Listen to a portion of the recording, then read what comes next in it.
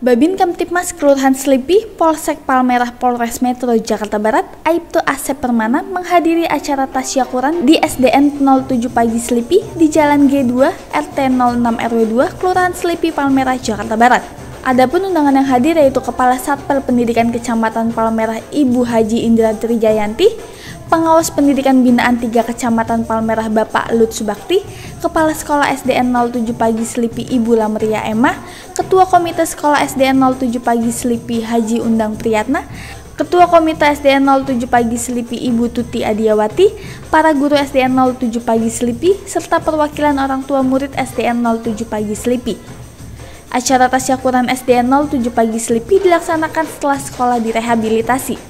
Acara tasyakuran SDN 07 Pagi Selipi dilaksanakan setelah sekolah direhab. Sekolah SDN 07 Selipi kini melakukan perubahan-perubahan dengan membangun kantin sehat dan bank sampah untuk menuju sekolah Adiwiyata. Dari Jakarta, tim liputan Tribrata TV, salam Tribrata.